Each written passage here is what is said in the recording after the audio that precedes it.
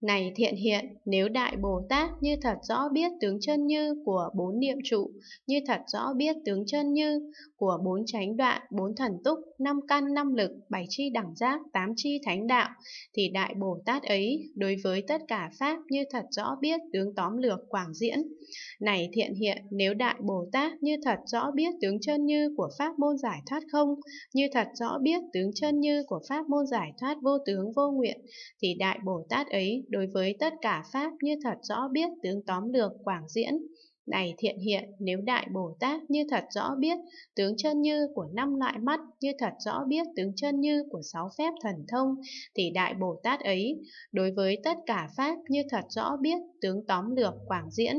Này thiện hiện, nếu Đại Bồ Tát như thật rõ biết tướng chân như của mười lực Phật, như thật rõ biết tướng chân như của bốn điều không sợ, bốn sự hiểu biết thông suốt, đại từ, đại bi, đại hỷ, đại xả, 18 pháp Phật bất cộng, thì Đại Bồ Tát ấy đối với tất cả Pháp như thật rõ biết tướng tóm lược quảng diễn.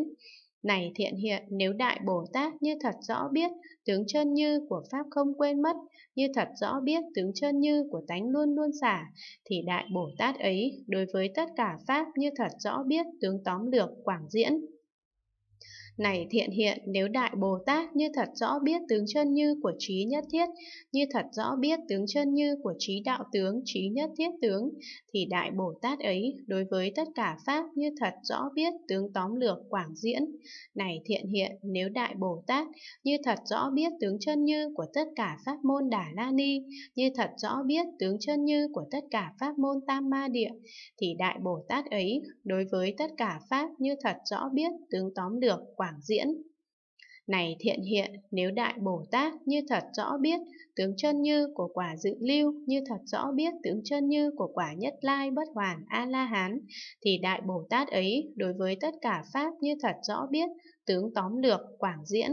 Này thiện hiện, nếu Đại Bồ Tát như thật rõ biết tướng chân như của quả vị độc giác, thì Đại Bồ Tát ấy đối với tất cả Pháp như thật rõ biết tướng tóm lược quảng diễn. Này thiện hiện, nếu Đại Bồ Tát như thật rõ biết tướng chân như của tất cả hạnh Đại Bồ Tát, thì Đại Bồ Tát ấy đối với tất cả Pháp như thật rõ biết tướng tóm lược quảng diễn. Này thiện hiện, nếu Đại Bồ Tát như thật rõ biết tướng chân như của quả vị giác ngộ cao tột của chư Phật, thì Đại Bồ Tát ấy đối với tất cả Pháp như thật rõ biết tướng tóm lược quảng diễn.